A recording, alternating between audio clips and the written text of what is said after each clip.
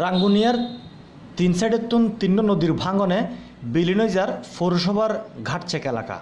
চলতি বর্ষাতি ইতিমধ্যে প্রায় শতাধিক ঘরবাড়ি নদীগর্ভত বিলীন গিয়ে।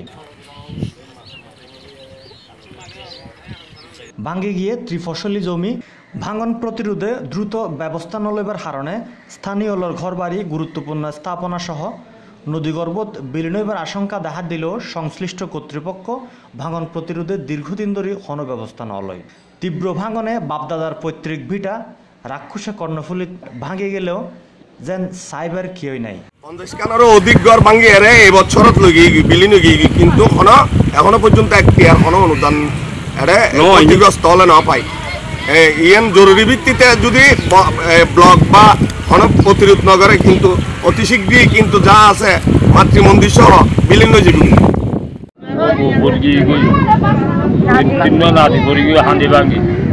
এই সমস্যা কারোর টুইন টুইন মাল ভাই আর আর দাল ভাই ভাত খায়। টাকা জমিন কিনিবার বাদ পয়সা নাই আর রাখার বাসন আর আর অনার বাঁচালি আর হৃদয় জাতীয় মানুষ আর আর হনা বাঁচাইব বদ্দা আর আর বাঁচাও আর তোর রাস্তার ধরে রই।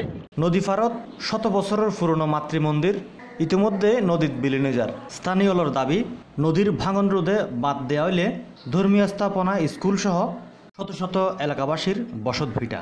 ইলেকট্রিক আর্ক ফার্নেসে একশো ভাগ পরিশোধনের পর টিএমটি প্রযুক্তিতে তৈরি হয় একেএস বিখাত একেএস টিএমটি বাড়ি আপনার স্থাপনাকে দিতে পারে সর্বোচ্চ সুরক্ষা।